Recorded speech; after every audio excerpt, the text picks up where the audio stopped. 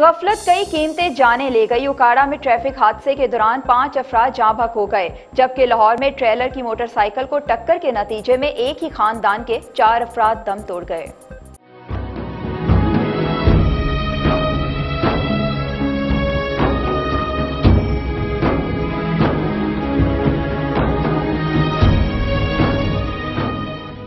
उकाड़ा के करीब रनाना खुद में तेज रफ्तार ट्रक ने मोटरसाइकिल को टक्कर मार दी। हादसे में तीन बच्चों और खातून समेत पाँच अफराद मौके पर जाबक हो गए। वाकई की इतला मिलते ही रेस्क्यू टीमें मौके पर पहुँच गई। जाबक अफराद की लाशों को अस्पताल मुंतकिल कर दिया गया।